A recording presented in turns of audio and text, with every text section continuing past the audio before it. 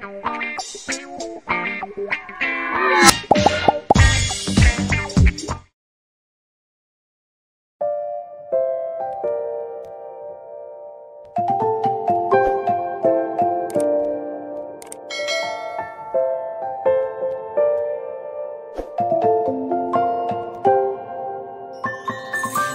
many places still undiscovered But you're stuck in a blast of yesteryear It's that kind of story you should see?